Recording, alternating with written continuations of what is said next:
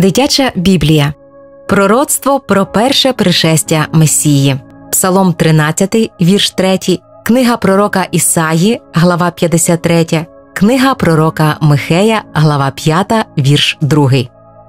На початку цієї книги йшлося про те, як Бог створив людину за образом своїм та за подобою своєю.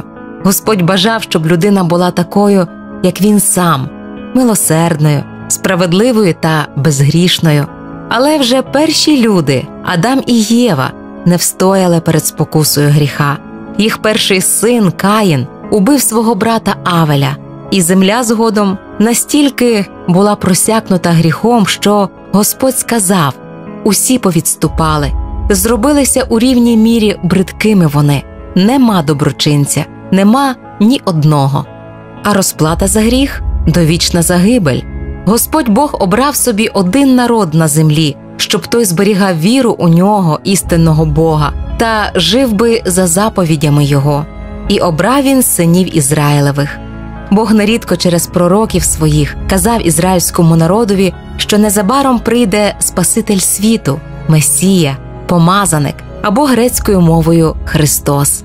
Так у передбаченні майбутнього пророк Ісая за 700 років до народження Ісуса Христа передрік, бо дитя народилося нам, сина дано нам, і влада на раменах Його, і назвуть його такими іменами: дивний порадник, Бог сильний, Отець вічності, князь світу.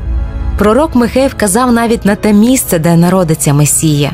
А ти, Віфлеєме, Єфрате, хоч малити у тисячах юди, і з тебе вийде мені той, що буде володарем Ізраїля, і походження його від початку, від днів віковічних. Ми дізнаємося також і про основну мету пришестя Месії відвернути людство від гріха, навернути до Бога і врятувати усіх людей, прийнявши самому смерть за їхні гріхи.